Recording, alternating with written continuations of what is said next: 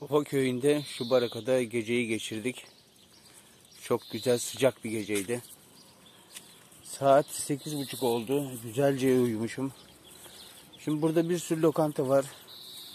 Orada bir kahvaltı edeceğim. Sonra Gelemiş'e gideceğim. Akbel Bezirgan'da da bugünü sonlandırırız gibi geliyor bana. Bakalım yol bize neyi gösterecek. Burası domates serasıymış. Yerde raylar var. Demek ki onunla birlikte topluyorlar.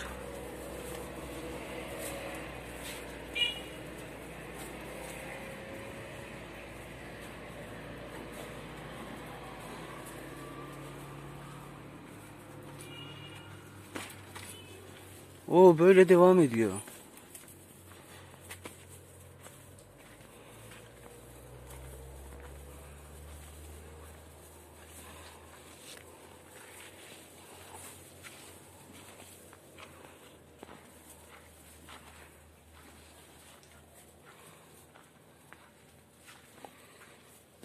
Kıpkırmızı domatesler var.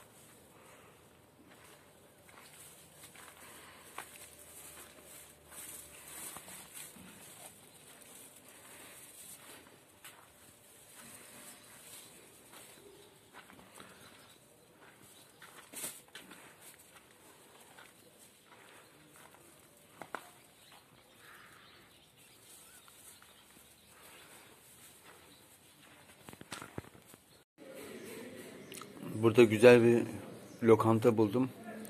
Kendime ziyafet sundum. Bunların hepsini bitireceğim. Bir parça bir şey bırakmayacağım. Kahvaltı bitmedi beyler. Mest oldu bu da mest oldu.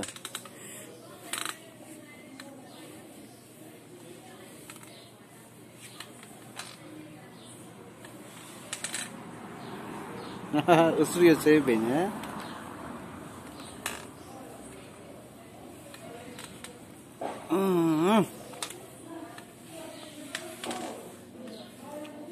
Bu arada ayakkabıyı bıraktım terlikle yürüyorum düz yollarda. Vallahi çok daha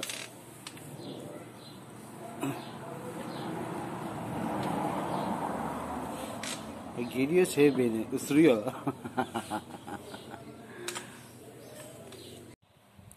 Patara'nın içine girdim. 4 kilometre falan yürüdüm.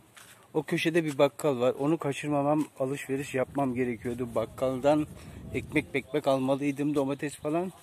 Şurada bir tabela gördüm. Bir kilometre geride deyince o bakkalı kaçırdığımı fark ettim. Niye kaçırdım? Çünkü 2020'de o bakkalın adı İbrahim. 2020'de beni Eşen Çayı'nda kamp yapmaya yönlendirmişti. Güzel bir yerde. Onu konuşayım konuşmayayım adam hatırlamaz dedim. Önünden geçtim gittim. Şimdi pişman olmuştum. Tam böyle şu köşeyi sol taraftan geliyordum. Böyle köşeyi dönerken tam pişman olmuştum ki şimdi burada bir büfe gördüm ve şimdi rahatladım. Bir de şimdi oradan gelişte yolun solundan gelsem gölgeden geliyorum ama güneş paneli doldurmuyor. Sağdan gelsem de güneş panel çalışıyor ben terliyorum. Böyle de bir kötü durumun içerisindeyim. Şimdi şuradan alışveriş yapayım. Yanımda bir kere bir ekmek taşımam şart. Tok olsam bile o bir ekmek olmalı. Domates falan alayım yanıma. Ton balığı, mon balığı. Ya bir şeyler olmalı yanımda. Yoksa ne, ne zamandı? Gavur ağılığında mesela aç kaldık. Dün aradığım pansiyonlardan biri de buydu. Diyorum ki gecelik ücretiniz ne kadar? Bugün için mi dedi. Evet dedim bugün bugün yerimiz yok dedi. Peki dedim yarın için ne kadar? Ya diyor yarın için diyor belli değil diyor. Şimdi euro yüksek ya diyor. Biz de diyor onun fiyatını oturup diyor düşünüyoruz. Kaça yaparız? Ne yapsak acaba diye. E, Yani dedim nasıl olacak bu? İşte diyor düşünelim diyor karar vereceğiz. E, Peki diyorum bugün kaça verdiniz? Boş ver onları diyor. Patara'da dört örneği bulunan işte kralı Necati Likya'da oldukça yaygınmış. O da buymuş.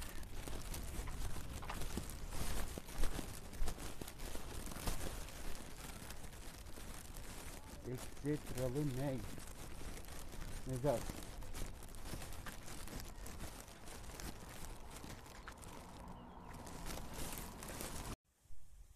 Dün şu iki dağın arasındaki vadiden buradaki Patara plajı gözüküyordu. Şimdi Patara'yı geçtik. Dün şuradan yürüdük böyle Leton'a gittik. Santos'a gittik. Eşen çayının karşısına geçtik. Böyle geldik. Böyle değil. Pardon bunun da arkasından geldik. Buradan Patara plajının oradan üste çıktık. Ve burada Delik Kaya rotasını takip ediyorum. Az önce dikenlerin içinden geçtim. Nasıl dikenler? Yani böyle bir diken yok. Elimde ayakkabıların olduğu poşet vardı. Poşet yırtıldı. Niye? Çünkü yol yok. Dikenleri yararak geçiyorsunuz. Yani üzerimde uzun kollu var. Sabah hava serin diye uzun kollu giydim. Giymemiş olsam her yanım kesinlikle yarılırdı. Bak şuradaki dikenleri görebiliyor musunuz? Serçe parmağın boyunda dikenler var. Her yer diken. Bak bu da. Yani dikenleri ittirerek geçmek zorunda kaldım. Zaten başka bir yol yok ya da elinde pala olacak keseceksin. Büyüklüğüne bakar mısınız dikenlerin ya?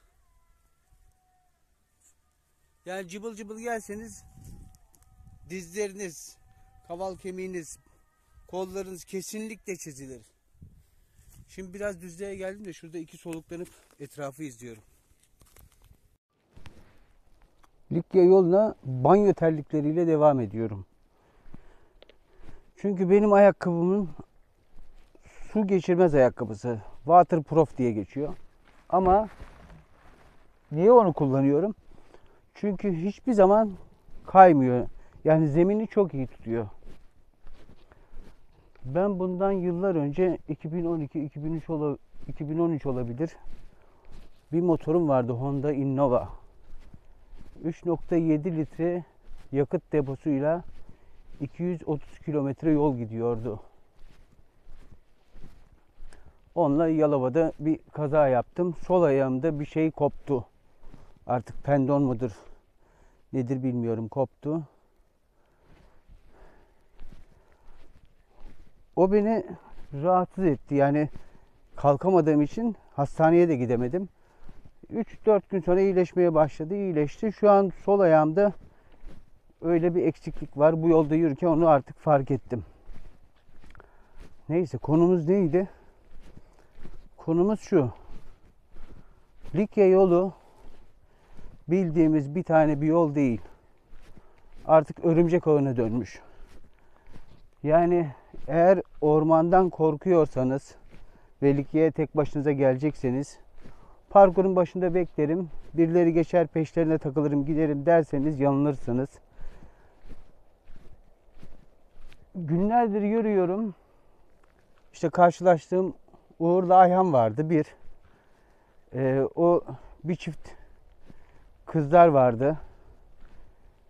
İki. Bir de dün bir çocukla karşılaştım. Üç.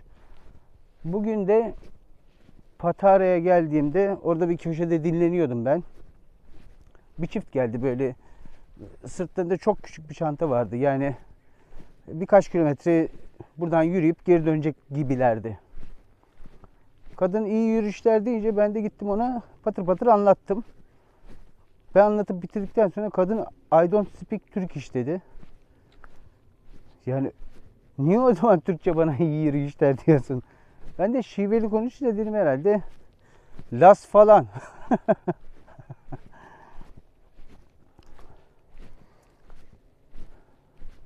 yani tek gelip de burada rota başında beklerim birileri gelir demeyin. Çünkü burası örümcek ağına dönmüş.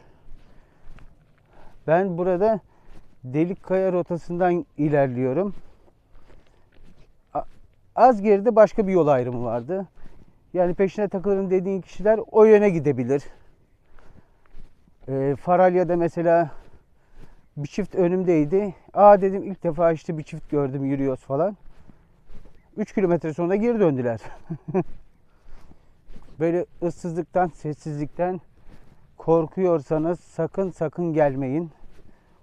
Ya da bu yolu bitirmeniz sizin 5 ay sürer. Onu bekleyeyim, bunu bekleyeyim derseniz. Mesela Sidma Antik Kenti'nde yol bitiyormuş.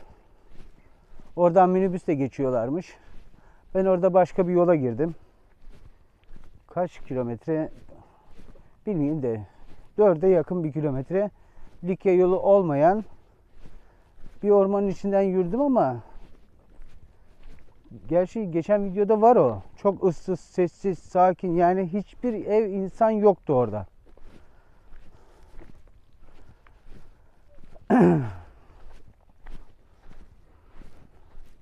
Terlik hakkında söyleyeceğim şeyi de unuttum ya. Neyse. Yokuşlarda, inişlerde ayakkabıyı kullanıyorum. Çünkü hiç kaymıyor. Bir de benim ayaklarım terlediği için geçen dediğim yapışık oldu. Onun için terliği giydim. Baktım terlikle de yürünüyor. Ve ayrıca eee Uğur'un ayağında Salomon ayakkabı vardı. Acayip rahatsız etti onu. Çıkışlarda topuğu, inişlerde parmağı ayakkabıya vuruyordu. Onların yolda karşılaştığı adam da öyleydi. Yanında Allah'tan günlük yürüyüş ayakkabısı getirmiş. Onları giydim de ferahladım diyor. Yani ultra bir ayakkabıya ihtiyacınız yok. Ayağınıza vurmasın, zemini güzel tutsun yeterli. Ama gidip de Topkapı'dan 20 liraya ayakkabı almayın. Güvendiğiniz bir ayakkabı olsun. Ben terlikle yürüyorum böyle yollarda. Böyle yolları var Allah'tan. Tam bu sevdiğim yol olduğu için yavaş da yürüyorum. Acelem de yok çünkü. Nereye gidiyoruz biz? Delikkaya'ya. Bak geçen yıl şurada Eşen Çayı'nın tam başladığı yere göndermişti o beni İbrahim abi. Orada tam böyle çadır kurmak için hani köpekler oturmak için böyle bir koklar dolanır döner aynı yerde döner döner sonra oturur ya. Gittim orada aynı o moddayım. Dur şu arkadaş da alalım. Neredesin kardeş? Ne yapıyorsun? Öğlen yemeği mi?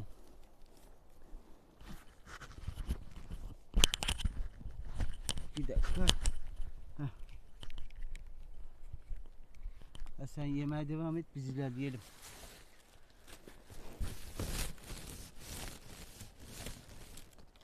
Orada tahtalı barakalar vardı.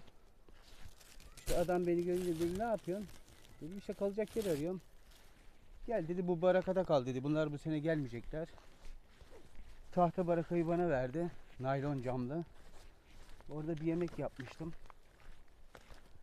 Ondan sonra bir baktım ayağımın üzerinde tahta kurusu var. Bir dakika.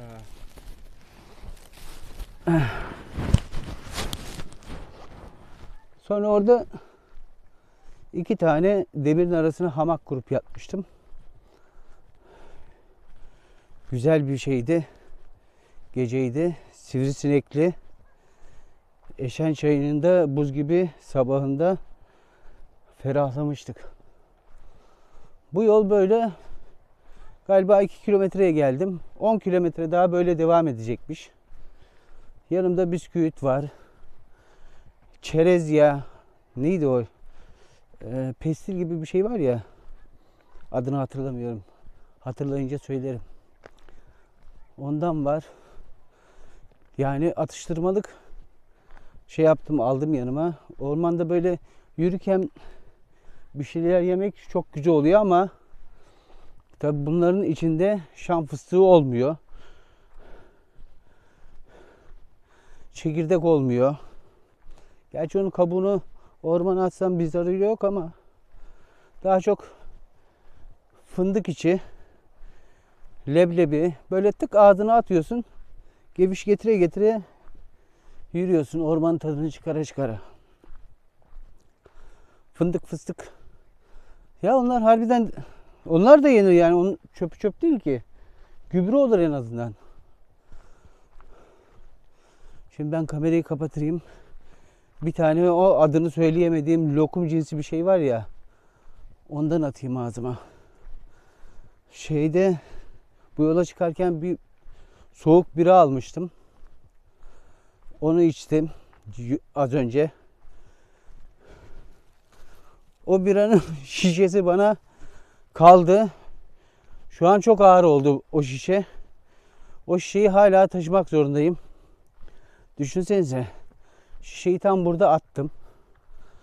Yolculuk bitti. Yazın sıcakları başladı. Televizyonu bir açıyorsun. Delikkaya yolunun ikinci kilometresinde bira şişesinden yangın çıktı. Ömür boyu kahroluyorsun ondan sonra.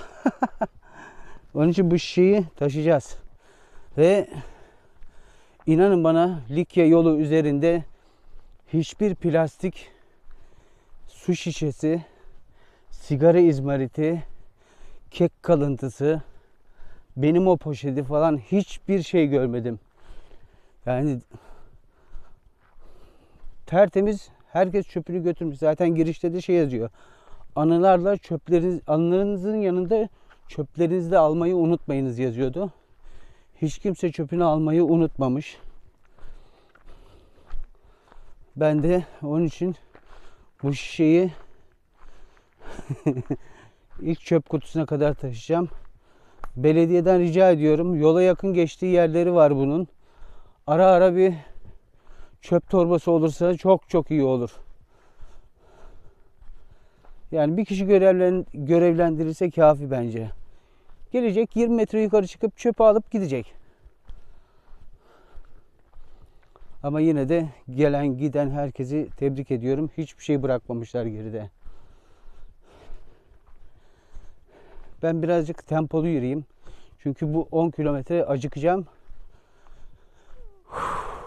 Atıştırmalıkları bitirmeyeyim. Evet. Bu şişeyi bunca yo- yol taşıdıktan sonra burada bir çöp tenekesi var. Kaderde terk ediyorum. Bir iki tane ev gördüm. Bir. iki. Villa Emir'miş. Bunun önünde çöp var. Buraya terk ettim onu. Biz şu an yemyeşil bir ormanın içinde gözüküyoruz. Şimdi önce kalkan mı geliyordu, kaş mı geliyordu onu düşünüyorum da kalkandı galiba. Kalkana doğru ilerleyeceğiz. Herhalde. Emin değilim. Akbel'e inerken Akbel'i üstten gören bir manzara buldum. Şurada güzel bir dinleneyim. Çok yolumuz var ya. Sanırım şuradaki patikadan arkaya döneceğiz falan filan yani. Acaba buranın kumsalında mı kalsak? Yani 9 kilometre var. Biraz yürüyelim. Saat daha beş buçuk. Yolculuğuma devam ederken Bezirgan'a 5 kilometre kala sağ aşağıya baktım. Bezirgan yüksekte 600-700 rakımda bir yerde. Sağ aşağıya bakınca Kalkan plajında yüzenleri gördüm. Ben de Mart ayında mı Mart'ın sonuna doğru yola çıktığım için soğuklardan çok çektim. Bu gece Bezirgan'da da üşüyecektim. Oraya 5 kilometre kala bütün fikrimi değiştirdim. Likya yoluna burada ara veriyorum. Yazın tadını çıkartacağım. Ege'deyim. Ben dağ, taş, bayır, çayır geziyorum.